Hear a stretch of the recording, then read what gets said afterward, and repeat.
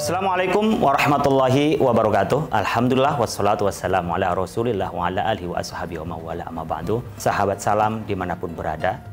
Kita sebagai umat Nabi Muhammad SAW diperintahkan untuk menyebarkan kedamaian.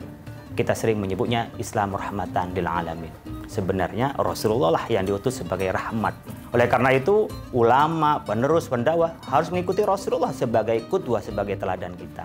Oleh karena itu, ketika Rasulullah SAW datangi para sahabat, mungkin para sahabat jengkel dengan kondisi masyarakat di Mekah, orang musyrik, ya, orang kafir, orang-orang yang tidak beriman kepada Rasulullah SAW. Ya Rasulullah, doain aja mereka sumpahin biar mereka tuh celaka ya Allah, ya Rasulullah, para para orang musyrik biar habis ludes lalu binasa mereka. Apa Rasulullah jawabnya?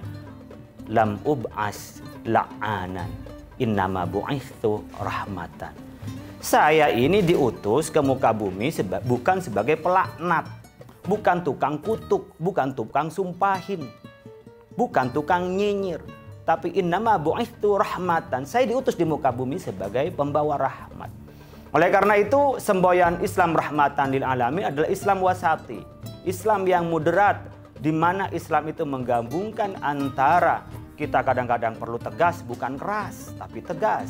Kadang-kadang kita perlu baik, lunak, tapi tidak berarti kita menjadi orang yang ngaret bukan.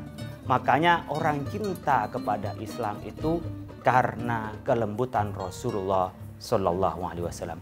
Seandainya Rasulullah menjadi orang yang keras, seandainya Rasulullah menjadi orang yang kepada orang lain itu menghancurkan dan merendahkan, maka tak akan tertarik dengan Islam. Oleh karena itu, kita sebagai umat Nabi Muhammad harus menyayangi kepada yang lain. Bukan hanya kepada sesama muslim, tetapi juga kepada non-muslim. Rahmatul amah kepada siapa pun kita harus memberikan kasih sayang.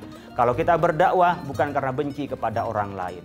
Kalau kita berdakwah mengajak kepada Islam bukan karena kita ingin menistakan agama lain, tapi kita ingin bersama-sama mengajak pada keselamatan, ingin bersama-sama mengajak pada kebaikan sehingga kita tetap cintai orang lain itu agar orang lain tidak terperosok, orang lain tidak menjadi binasa. Oleh karena itu, yuk kita gerakkan kepada yang lain menjadi Islam yang cinta damai, Islam yang ramah bukan pemarah, Islam yang juga memberikan rasa kasih sayang kepada orang lain. Orang Islam itu yang baik adalah al-muslim man salimal muslimuna min yadihi wa Orang muslim yang baik itu orang yang di sekitar kita merasa nyaman dari ucapan kita dan dari tindakan kita. Sahabat salam, mudah-mudahan bermanfaat.